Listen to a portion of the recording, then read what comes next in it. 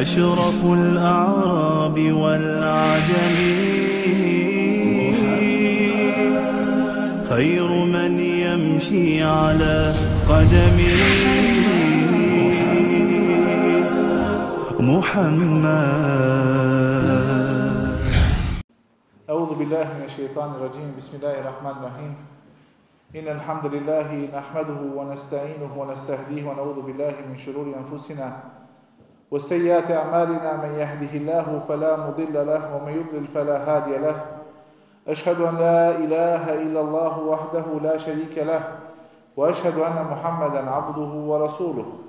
أرسله الله تعالى بالهدى ودين الحق ليظهره على الدين كله ولو كره المشركون.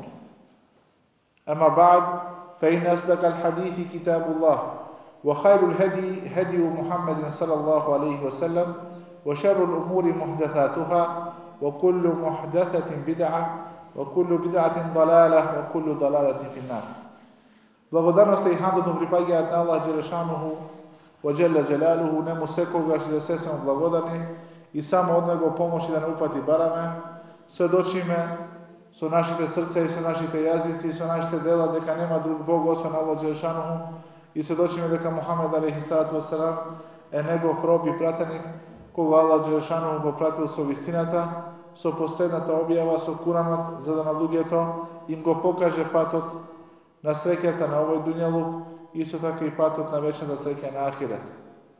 Највистински зборови се Аллаховите зборови, најдобар пат, најдобар начин на живење е сунетот на Мухамед саллаху алейхи веселем, додека секоја новотарија во верата е пат на заблудата, а секоја заблуда го има свој завршеток во джахенемскиот огин.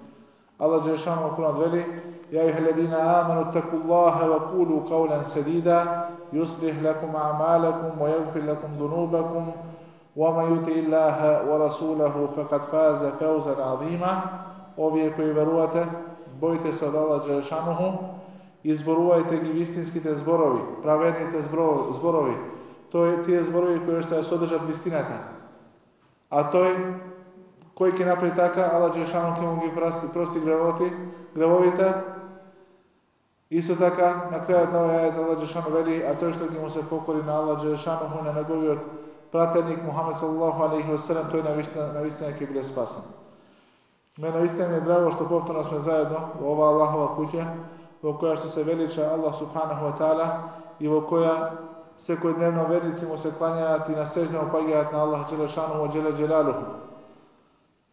Денеска сме заедно тука да продолжиме со нашите дерсови поврзани со животот на Мухамед саллаллаху алейхи веселем, со неговата биографија, која што треба да биде наш водич на овој дуњалук, која што треба да биде наше светло, кој што ќе ни го осветли патот и кој ќе биде, иншала, причина за насудниот ден, иншала, да го заработиме шефаатот на Мухамед саллаллаху алейхи ве селем.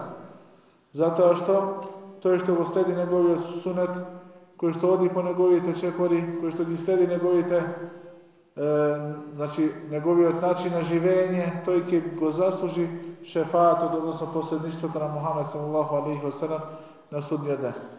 Ние застанавме кај првите муслимани. Рековме дека на почетокот на даветот Мухамед саллаллаху алейхи ва селем во еден период скришно ги повикуваше луѓето во исламот. И дека како резултат на тоа повикување, тие луѓе кои што беа први кои што го примија исламот, се и оние кои што му беа нему најблиски. Тоа беше неговата сопруга Хатиджа радијаллаху анха, тоа беше неговиот во тоа време посинок, кој што он го посвои, го адаптираше ga за себе си, но подоцна Аллах Джешануху, како што ќе дознаеме од нашиот дес, забрани некој да посвојува некого и да го смета како негов син. Тоа беше значи Зейд ибн Харита, исто така меѓу првите муслимани беше оној штитеникот на Мухамед саллаллаху алейхи ва салlam Али ибн Аби Талиб, неговиот близок другар Ебу Бекр Ас-Сидик радијаллаху Аллаху и за сите од нив, иншалlah ќе кажеме по неколку зборови за да видиме кои се тие први личности кои што му се отповика на Мухамед саллаллаху алейхи ва салам и кои што го прифатија исламот. Ние знаеме за улогата на Хатиджа во спирувањето на Мухамед саллаллаху алейхи ва салам, во давањето на поддршка во првите денови на објавата, зборува за тоа дека се работи за една мудра, честна и честита жена, која што на својот маж, на својот сопруг му помогна на најдобар можен начин. Со тоа што беше негова потпора во најтешките моменти кога тој за, на почетокот се соочуваше со нешто што е ново. Па затоа Аллах Джелешану го прати Джебраил алейхиссалам и и рече му рече на Мухамед саллаллаху алейхи веселем дека Аллах и праќа селам на Хатиджа и дека и праќа радосна вест. Затоа со дека Аллах Джешано ќе ја награди со куќа во дженетот, куќа која што ќе биде од излабнет бисер, во која што нема да има ниту голема бука, значи врева, ниту пак ќе има во неа замор. За Хатиджа има многу хадиси кои се зборуваат за незината вредност. Доволно е да кажеме дека Мухамед саллаху алейхи ве селем ја спомнувал нејзе и после незината смрт, така што Аиша ради Аллаху анха често пати искажувала еден вид на љубомора кон тоа зошто Божиот пратеник ја спомнува се уште Хатиджа и после незината смрт. Се тоа зборува дека таа беше на вистина сопругата која што му ја пружи најпотребната поддршка на Мухамед саллаху алейхи ve. Меѓу првите муслимани е исто и Али ибн Еби Талиб. Али ибн Еби Талиб беше штитеник на Мухамед саллаллаху алейхи ve sellem. Зошто? Затоа што таткото на Али ибн Еби Талиб, а тоа е Ебу Талиб, се соочи со една потешкотија финансиска и да кажеме економска немаштија така што тој заедно со неговиот чичко Абас, значи Мухамед саллаллаху алейхи ve неговиот чичко Абас, отидоа кај Ебу Талиб и рекоа, ние дојдовме да земеме некои од твоите деца, ние да се грижиме за нив. И тогаш Ебу Талиб рече, земете кого сакате, само оставете ми го Акил. Акил е еден од синовите на Ебу Талиб, брат на Али ибн Еби Талиб ради И тогаш Ибн значи Абас го зема Џафар ибн Аби Талиб, значи братот на Али ибн Аби Талиб и се грижи се за него, додека Мухамед саллаллаху алейхи ве го зема Алија ради Аллаху анху и се грижеше за него. Во времето кога го примил исламот Алија ради Аллаху анху варда, имал 10 10 години и затоа се вели дека тој е првиот од младите или од 10 кои што го примил исламот. Исто така како што ќе видиме подосна кога доаѓа Мухамед саллаллаху алейхи ve и кога собира 30 членови од неговото семејство и ги повикува во исламот, единствениот кој што му се отповикува и вели дека јас сум со тебе е Алија радијаллаху анху варда. Затоа Алија има посебно место во животот на муслиманите. Посебно место кај Ехли Сунна, вал джема. И ние го сакаме. И пред Аллах Джерешану се надеваме за севап за нашата љубов кон Алија радијаллаху анху.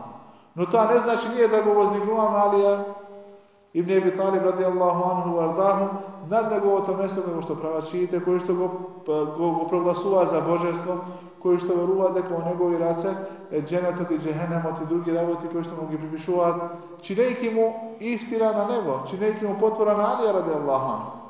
Ние ги знаеме неговите вредности и книгите на Ахли Суна вал Джемаа се полни со хадиси кои што зборуваат за вредноста на Алија ради Аллаху анху Верта. Така. Помеѓу тие хадиси кои што зборуваат е хадисот во кој што Мухамед саллаллаху алейхи васелем пред битката на хайбер наговестува дека ќе му го даде знамето на еден човек кој го сака Аллах и овој човек го сака Аллах И сите таа ноќ значи ја поминаа во исчекување кој ќе биде тој човек на кој што ќе му даде ќе му го даде знамето Мухамед саллаллаху алейхи ве И утре дента сите дојде осен Алија и тогаш Мухамед саллаллаху алейхи ве рече каде е Алија, тој му рекол дека се жали од болка во очите и тој го повикал и плукнава неговите очи и неговата плунка саллаллаху алейхи ве селем беше илјач и лек и себе и тој се излекува и му го даде знамето и му го, го, го посоветува или му го даде васиетот велејќи му дека кога ќе се спуштиш во нивните помеѓу нивните куќи Нека биде прво што ќе го работиш да ги повикаш во исламот. И му вели, доколку Аллах Джелешануху ти овозможи да еден човек го прими исламот преку тебе, тоа ти е подобро отколку да бидеш собственик на црвените, на црвените деви кои што во тоа време беа најголемото богатство. Значи, ова е доказ дека Аллах Джелешануху значи, го сакал Али ради Аллаху, исто така и Али ради Аллаху анху вардаху го сакал Аллах Джелешануху во Джеле Джелалуху и не му приличи него да се воздигнува и да се споредува или пак да се става на исто ниво како Мухамед саллаллаху алейхи ва sellem и да се става на исто место како како Аша Вакела како што прават некои на ниво на Али радијаллаху како што го прават алевиите и нусаириите кои што го сметаат за божество. Ла илаха илла Али викаат нема божество освен Али. Мислејќи на Али ибн Аби Талиб, Хаша Вакела, и тој нема никаква врска со овие. Исто така од хадисите кои се зборува за вредноста на Али радијаллаху анху е хадисот во кој што Мухамед саллаллаху алейхи ve кога оди на битката во битката на Тебук. И му вели на Али радијаллаху анху ардах ти ќе останеш во Медина. И тоа е единствената битка во која што Алија не бил заедно со Мухамед саллаллаху алейхи ve sellem. Радијаллаху. И му рекол Божи пратенику, зарем ме оставаш со жени и со деца, додека ти одиш да се да бориш на Аллаховиот пат, тогаш Мухамед саллаллаху алейхи ва sellem му вели: "Ја Али, ема терда ан такуна минни би мензилети Харуна ми Муса." О Али, зарем не сакаш да бидеш значи до мене, како што беше близок Харун до Муса алейхиссалам. Што направи Муса кога отиде да се сетне со неговиот господар и да ги земе наредбите од Аллах Джешану, го остави да се грижи за неговиот народ? Хару, неговиот брат, затоа вели, за не си ти задоволен да те оставам јас да се грижиш за мојот уме, за оваа Медина, за ова место, додека исто така на крајот го, го подсетува и го потврдува ила еннаху лейсе бади неби. Една работа треба да знаеш дека после мене нема пејгамбер, затоа што Харун бил пејгамбер, како што бил пејгамбер и Муса алейхиссалам. Но Аллах Джерешануху, значи, верите дека ти си на мене на позиција како што бил Харун кај Муса Селам, Те оставам да се грижи за мојот народ, за мојот умет, но е да треба да знаеш дека после мене нема, после мене нема друг пегамбер, нема кој ќе го продолжи. Валакин Расул Аллахи ва хатамен набијин, Аллах Джешану вели, тој е значи Божи пратеник и последниот од од пегамберите. Исто така, познат е хадисот кој што во кој што се спомна дека Аллах Джешану го повикал Хасан, Хусейн, Алија и неговата сопруга Фатима, ради Аллаху анhu арда, керката на Мухаммед саллаллаху алейхи ve и рекол ха и ахли. Овие се моето семејство, овие се моето семејство, ахли бейт. И во Сахи хадис се пренесува дека Мухаммед саллаллаху алейхи ve рекол дека позади мене оси ви оставам две работи. Доколку ги почитувате и се придржувате до нив и ги сакате, ќе бидете од оние кои што се спасени, помеѓу нив го спомнува и неговото семејство, но сепак Љубовта кон неговото семејство не значи да ги прегласуваме за без за без безгрешни имами, не значи да веруваме дека наследно се пренесува неговата нивната безгрешност како што веруваат шиите. Не значи да веруваме дека дека тие се на позиција на пејгамбер или хаша или на позиција на некое божество како што веруваат, како што веруваат шиите и како што пишуваат во нивните книги. Затоа нашата љубов кон Алија ради Аллаху на евидента, тоа е од младите момчиња кои што со целосен разум и со целосно сваќање на вистината ја прифаќа објавата и станува помеѓу првите муслимани. Исто така, помеѓу првите муслимани е и Зеид ибн Харифа. Зеид ибн Харифа бил киднапиран од некои трговци со робови и го продале на пазарот на кој се вика Сукул Укад. Во Мека имало еден пазар каде се продавале работи, други работи, ама се продавали робови бил киднапиран и бил продаден како роб, иако не бил роб. И на тој пазар го купува Хаким Ибн Хизам, кој што бил чичко на Хатиджата, на Хатиджа, на сопругата на Мухамед саллаллаху алейхи веселем и го подарува како како роб, и го подарува како како роб. И таа го зема и го прифаќа овој подарок и потоа се грижи за него и кога се омажила за Мухамед саллаллаху алейхи веселем таа му го дала како подарок на Мухамед саллаллаху алейхи ва sellem Зейд ибн Харита. Мухамед саллаллаху алейхи ва sellem многу го сакал. И ние зборувавме за некои особини кои што ги има Мухамед алейхи салам уште пред да стане пегамбер и го засакал. И еден ден кога дошле да прават хач, некои од семејството на на овој Зейд ибн Харита го виделе и го препознале и рекол ова е нашиот син кој што го киднапирале, кој што го земале и го продале како роб. И дошол неговиот татко и неговиот чичко кај Мухамед саллаллаху алейхи ve селем за да го барат. И Мухамед саллаллаху алейхи ve sellем рекол: јас нема да му наметнувам одлука. Што ќе одлучи Зейд, тоа ќе биде. Ако прифати да се врати со вас, нека се врати. Ако не прифати, тогаш тоа е негова одлука. И кога дошле неговите родни, роднини родител, таткото негов, рекол, валлахи, не му давам предност на Мухамед пред никој од вас. Ни пред тебе, татко, ни пред тебе, чичко, ниту пак пред некој од моето семејство.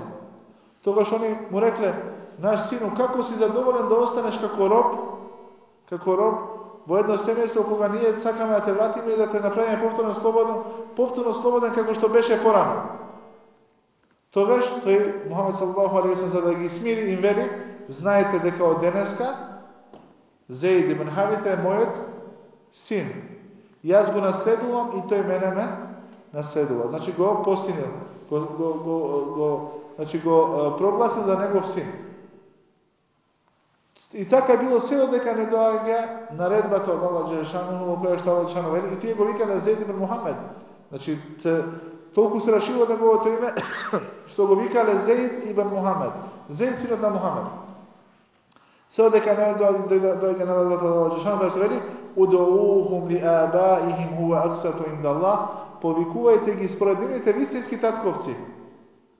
Тоа е поправедно кај Аллах Субхану Ва Значи во исламот ова е многу важно да се знае дека нема посвојување.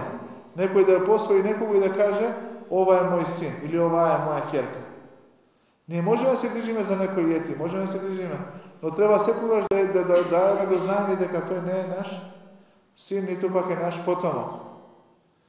Ова е многу важно затоа што некои луѓе значи ги смета, ги, ги прогласува за браќа и за сестри некои кои што не се браќа и сестри.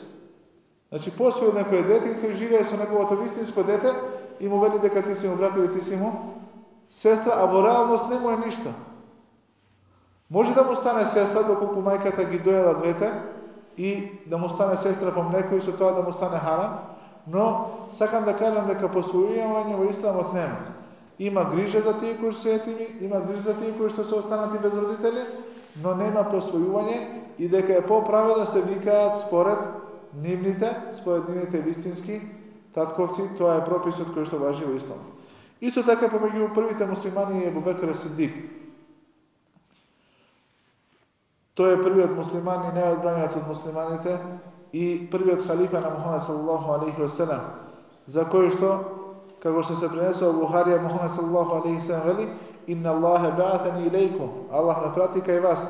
Фекезебтумуни И повеќето од вас рекоа дека јас не ја зборувам вистината. Фекале Абу Бекр садака, додека Абу Бекр ради Аллах анху, го потврди тоа дека сум јас Божи пратеник и рече дека вистината ја зборува. Исто така, како што пренесува Ибн Исхак во неговата книга Ал Магази, книгата за битките на Мухамед саллаллаху алейхи која што во основа е животописот на Мухамед саллаллаху алейхи вели дека ма дауту ахадан ил или ислам. Не сум повикал никого во ислам, illa kanat lahu anhu kebwatun au taraddud. Секој кој што го повикал, се, се мислел, значи имал некое некое значи некоја, некоја пречка или некое повторно размислување или некој сомнеш. Илла Еба Бекер, осен Ебу Бекер Аллаху, ма атама хина декертуму ма, ма тарадада фихи. Значи, која му го спомна да го прими исламот, не допушти ни да помине една ноќ, ниту пак искажа сомнеш во тоа што го повикав и го прифати исламот. Па затоа Ебу Бекер исто така од првите првиот, првиот човек, значи првиот возрасен наш, кој што го примил исламот. Оно што е многу важно, дека Ебу Бекер не застана на тоа што го прихвати самиот ислам, сам Ислам. Туку продолжи да ги повикува другите. Значи ги повика неговите другари и првиот меѓу тие негови другари беше Осман ибн Афан радијаллаху анху арда. Значи тоа е третиот праведен халифа после Ебу Бекер и Омар радијаллаху анху. Исто така го повика Зубейр ибн Ауам, кој што исто така беше од десете од одбрани асхаби на Мухамед саллаллаху алейхи кој што Мухамед алейхи ги израдува со дженет уште на овој дуњалук. Талха ибн Убейдилла, беше од луѓето кои што ги повика кој Ебу Бекр Сидик радијаллаху. Саад ибн Аби Вакас, познатиот војсководец на муслиманите, еден од десете од израдувани со дженет на овој дуњалук, исто така го прими Ислам преку Ебу Бекр, Абдурахман ибн Ауф, исто така го прими исламот. Осман ибн Медоун. друг човек познат, меѓу првите муслимани го прими исламот помеѓу преку него. Ебу Убейде ибн Джаррах, причина за неговиот ислам беше Ебу Бекр радијаланху. Ебу Селеме ибн, Абду, ибн Абдилесад, исто така причина за неговиот ислам беше Ебу Бекр. И Еркам ибн Ебил Еркам, човекот во чија што куќа муслиманите го учеа Куранот беше исто така повикан во ислам и го прими исламот преку Ебу Бекр радијаллаху анху. Исто така, преку други луѓе, преку други врски бе се проши исламот и кај некои луѓе кои што не беа од познатите. Зошто го кажувам ова?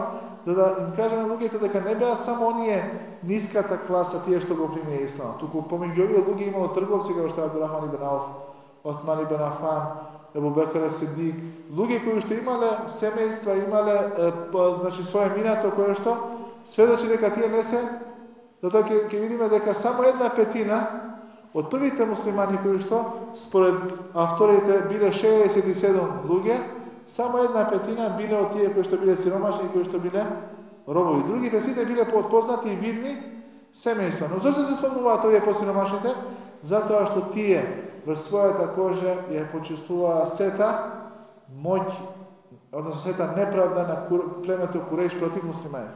Тие ги преживеа сите најтешки ситуации. Исто така помеѓу првите муслимани, кои што го примени исламот е Билал ибн Рабах, Тој сахаби, чие што име го носи ова джамија, кој што е познат исто како Билал Хабеши. Сухейб ибн Синан, кој што е руми, значи кој што е арапно, живеел во земјата на Византијците и кој што го примил исламот и дошол. Амар ибн Јасир, неговиот татко Јасир, неговата мајка Сумеја, која што е првата жена шехид на Аллаховиот пат.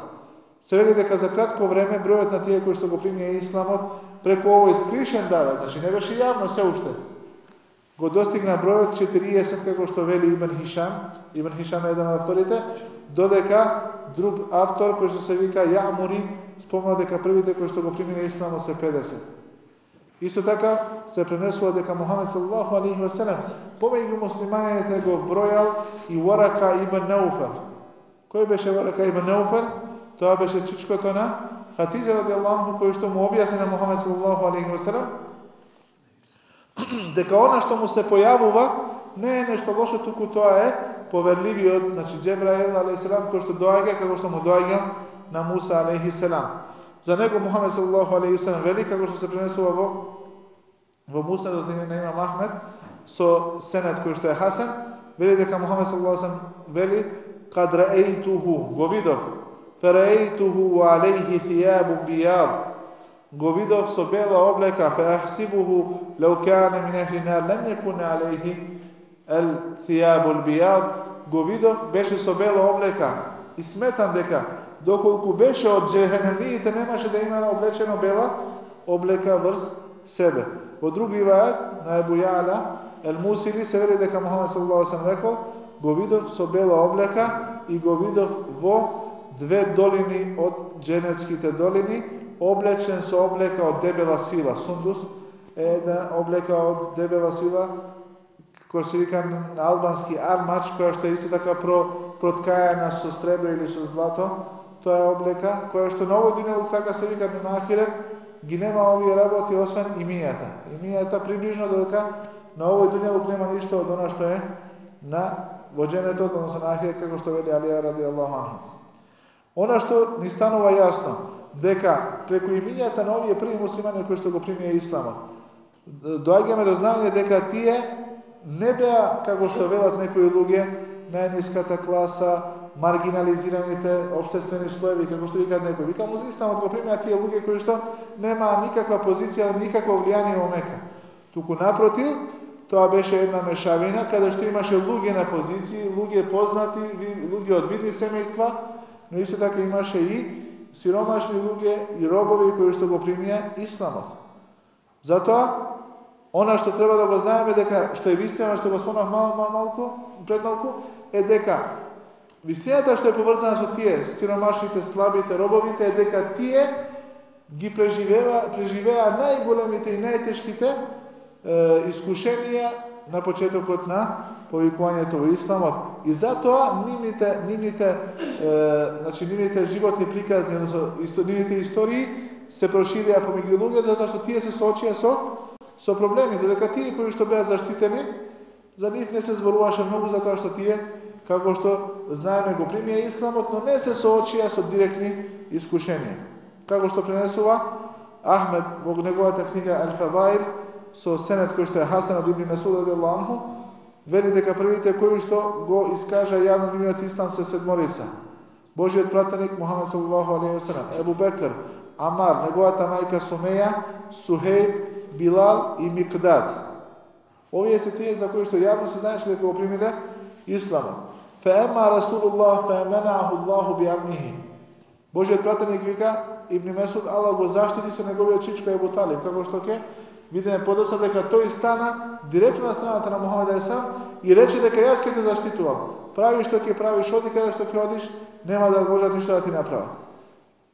Има една мудрост, вика, што е причината со тоа, зошто застанал, вели дека, Ибн Кетир вели дека причината е неговата љубов кон Мухамед саллаллаху алейхи ve Значи Аллах Джешануху даде заради таа природна љубов која што имал кон Мухамед алейхи да застане на неговата страна и да си го ризикува. Втората работа е зашто него што е мудрост што него примил исламот, вели дека кога би го примил исламот, тогаш би било многу полесно за мушриците да го нападнат Ебу Талиб. Затоа што они веќе сакаат некој претекст за да го нападнат и за да за да му направат тоа на Мухамед саллаллаху алейхи ве Но тој вели Аллах го остави во, во, во неверување за да немаат за да го немаат тој претекст. Затоа што да, да го примеше Ебу Талиб исламот, тоа ќе беше уште многу полесно тие да превземаат што поригорозни мерки кон него и да бидат многу по да, да да кажам по охрабрени да го нападнат да го нападат Ебу Талиб. Исто така, за Ебу Бекр вели дека го заштити неговото семејство. Додека другите, кои се спомнати, како што е Амар, Сумеја, Сухеј, Билал, فأخذهم المشركون بعذاب нив, мушриците, односно неверниците, ги нападнаа и ги мачаа, ги измачуваа. На некои им облекуваа кошули од железо и ги вадаа на топлото сонце, додека другите вика ги топеа, односно ги гореа со врелото пустинско сонце како што е примерот за примерот со Билал ради Аллаху анху варда. Исто како им Исак пренесува во неговата книга Асира дека е, Куреиш автоматски кој ќе се дознаеше дека го примил исламот, му објавуваше непријателство. И секое племе ги бараше своите членови за да за да ги нападнат, односно за да ги измачуваат. Се вели дека некои луѓе од племето Бени Махзум се пренесува дошле кај Хишам ибн Велид. Хишам ибн Велид, неговиот брат Ел Валид ибн Велид го примил исламот. И побарале од неговиот брат дозвола да го мачат неговиот брат. Значи од братот му рекли сакаме да го мачиме твојот брат затоа што тој со заедно со некои луѓе од нашето племе го примил исламот. И тоа што му дозволи, му рекол правете што со него што сакате, само не, не смеете да го убиете. И дека заедно со Ел Валид ибн Валид били измачувани и Хишам, Селеме ибн Хишам и Ајаш ибн Еби Рабија. Значи биле, биле заедно измачувани. Исто така кога направи хиджет Мухамед саллаллаху алейхи веселем со него биле и Ајаш и е, Хишам ибн Ас ибн Луајле Сехми, од кои што не успеале да отидат на хиджет и се вратиле, и нив продолжиле да ги мачат, да, да ги мачат нивните, нивните, нивните семејства. Затоа пренесува Бухарија дека Мухамед саллаллаху алейхи веселем кога отишол во Медина, чинел дова за овие, за овие луѓе и ги спомнал со име. Затоа велел Аллахуме анджи ел Валид ибн Валид. Аллаху мој спаси го Валид. син на ибн Валид, синот на Ел Валид. Спаси си го Селеме ибн Хишам. Спаси го Ияш, Ајаш ибн Еби Рабија. И спаси ги сите тие кои што се слаби и немоќни во Мека. И потоа чинат дова против Курейш, Аллахума уштуд ала муд, вата аке ала мудар, Аллах нека биде жестока твојата казна врз племето Мудар, а племето Мудар, кога ги се спомне, се мисли на племето Куреш. и рекол Аллахума джалха алейхим синине ке синии Јусуф, нивните години нека бидат сушни како што беа годините на Јусуф. И тоа и се случи на вистина ќе видиме подоцна, дека они останаа без храна и кога останаа без храна доаѓаа кај Мухамед алейхи само Медина и бара од него и го подсетуваа на тоа дека ние сме родини, како можеш да не оставиш така и да не се грижиш за нас. Од она што до сега кажавме, како што вели Ибн Хаджар, може да се да се разберат две работи дека кога го прашал Херакл Ебу Суфјан, тие луѓе што го примаат исламот, дали се луѓето кои што се од видни луѓе или се од сиромашните, тој рекол дека повеќето биле од сиромашните. Вели Ибн Хаджар дека со зборот сиромашни, слаби, немоќни кои што го кажал кој што го кажал Ебу Суфјан, тука се мисли на луѓето кои што не биле охоли, затоа што зборот шереф, некој кој што е чесен, виден, угледен, во арапскиот јазик се користи на луѓето кои што се охоли, тие кои што кои што одбиваат киб, кои што имаат кибор, кои што имаат охолост и одбиваат вистината. Затоа, вистина дека тие луѓе кои што го примиле исламот се луѓе кои што се, значи кои што се скромни, кои што ја прифатиле вистината и кои што го следеле Божиот пратеник. Иако, значи, не биле, не биле значи, сиромашни или неугледни по, по самата нивна природа. Не, тие биле луѓе, помеѓу кои што, како што ќе видиме, повеќето биле од видни семејства, но биле заштитени од нивните семејства од една страна, од друга страна, тие не биле слаби или биле од оние скромните и скрушените затоа што ја прифатиле вистината. Затоа вели авторот на оваа книга дека се забележува дека од 67 муслимани кои што први го примија исламот, 13 беа од оние кои што за кои што можеме да кажеме дека се сиромашни и дека се немоќни и дека се ослободени робови или кои што се уште биле робови. Додека или пак биле странци надворот од Мека. Додека тоа значи една петина, додека другите четири петини биле од што? Од видни и познати семејства во Мека, што зборува дека исламот значи одел паралелно на сите слоеви на едно општество. Не одел да, да, да кажеме ние ќе работиме само со сиромашните. Не, навлегол полека во сите слоеви на општеството во Мека. Кои се мудростите зошто на почетокот му давате на Мухамед саллаллаху алейхи веселем било скришно? Прва работа е дека преку ова Аллах Джешануху ни дава нас до знаење. Дека некога сме принудени, кога постои реална опасност од прекинување на даватот или од уништување на муслиманите, дека во тоа време е мудро да се повикува скришно и да се изберат луѓето на кои што им веруваме, за да се создаде таа прва прва категорија на верници, таа прва група на верници кои што кои што ќе бидат подготвени за да го прошируваат Аллаховиот збор. Доколку Мухамед саллаллаху алейхи станеше јавно ги повикуваше, ќе се соочеше со одговор кој што е негативен, и дека сигурно за кратко време сите муслимани ќе беа или убиени, или протерани, или поделени. Но мудроста беше да се формира една силна група, која што имаше и своји механизми на одбрана. Значи има или своите семејства, или подосна Ево Бекар од својот имот ги купуваше тие робови кои што кои што беа се мача и ги ослободуваше, како што ќе спомнеме дека се спомнува четири робови кои што ги ослободи Абу Бекар ради Аллаху меѓу нив и Билал Ибн Билал ибн Рабах ради Аллаху анху варда. Значи, сите тие целта била што муслиманите да се да се формира таа прва група за да можат подоцна да го повикуваат ислам. И дека овој начин на повикување зависи од ситуацијата. Но ова не значи дека како што денес има некои луѓе, некои групаци кои што можеби 60 години повикува исламот, а од исламот надвор нема ништо. Вика ние повикуваме скришо, ние работиме малце што се вика инкогнито, да не не знаат, да не не препознаат луѓето. Ние ако не викнат од дискот, од дискот идеме, ако викнат да седнеме кај што служи алкохол, ќе седнеме, нашата цела да ги повикуваме, ама да не е тоа јавно. Вика тоа е во спротивност со самата суштина на повикувањето на Моhammed сам. Тој повикувал скришно во еден историски период, во еден период кога бил навистина во опасност да, да го снема даватот. Но кога малку се, значи, се Eh, osilile muslimanite iz stana da posljednje toga špošan glavna povikuva. I što se ođu so novu napadi. Neke zborove za koji metodi koristile mušice vojna protiv Muhammed sallallahu alaihi wa sallam.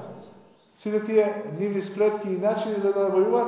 Znači, ne može neko da kaže da ja doživotno ke s skrišno. Kako što pravat neko i sve. Cijeli od života je pominuo i nijedna što kažem kaže, ja sam musliman, ne povikuvam u džami. Nema ništa ништо што треба да се скрие, да, да, да го криеме во ова, да биде скришно. Да им кажеме на луѓето, дојдете у джамија, седи да му чини мала во Аллах Джешану, да го следиме патот на Мухамед, да сами да биде иншала спасени на на Ахирет. А доколку постои ова реална опасност за нашите животи, тогаш тоа е веќе друга работа и тогаш друг начин на размислување и друг начин на действување треба да имаат муслиманите. Исто така, ова мислење на сите факихи, сите исламски правници, дека муслиманите доколку се малку на број, доколку се слаби и доколку постои реална опасност дека ќе бидат или протерани, или убиени, или уништени, или ќе биде извршен геноцид од нив, дека во тоа време им е дозволено да не повикуваат јавно, туку својата вера да ја практикуваат скришно. Зашто вели? Затоа што кога би ги нема, значи сочувувањето на животот е основа се сочува и верата. Значи кога нема еден муслиман, ја нема и таа вера. Кога ги нема муслиманите, нема и верата. Значи го нема и ислам. Затоа велат дека да се сочува животот е пред тоа да се сочува верата, затоа што вели дека верата не може да обстојува, не може да се прошира доколку не постои муслиманот кој што ја пренесува таа таа вера. Затоа тие на почетокот, значи, ја Мухамед саллаллаху алейхи веселем со е, Божја објава и со е, советот Аллах Джешану и со упатување од Аллах го избрал овој начин на повикување и после тоа, значи, после ова скришно повикување доаѓа наредбата кога Аллах Джешану му наредува да ги повикува јавно, но тоа јавно повикување почнува прво од неговото семејство и неговите, неговото племе Куреш. За ова инша ние ќе зборуваме во следниот дерс. Ова наредба доаѓа со ајетот وَأَنذِرْ عَشِيرَتَكَ الْأَقْرَبِينَ А ти опоменувај го твоето близко семејство. Што направи Мухамед саллаллаху алейхи Кои се следните случаи? Иншалlah ќе зборуваме на во следниот дерс, следната седа, доколку Аллах Джешану ни даде уште еджел на овој дуњалук. Аллах го молиме и му чиниме дова да го прими од нас ова наше дело, да го направи искрено само во Негово име, да не упати на правиот пат, да не обедини околу вистината, вистината секогаш да ни ја покаже како вистина и да ја следиме, а не вистината да ни ја покаже како невистина и да се оддалечиме од неа и да иншала најдобри наши дела да бидат нашите последни завршни дела иншала од овој дуњалог да излеземе со зборовите Ла илаха илаллах Мухаммеду Расулуллах, сведочејќи дека нема друг Бог вистински кој што е достоен да се обожува освен Аллах и дека Мухамед е само негов пратеник и негов роб кој што Аллах го прати со вистината. Во ахиру давана алхамдулилахи раббил алемин Аллах да награди иншала за вашето трпение أشرف الأعراب والعجم. خير من يمشي على قدمه محمد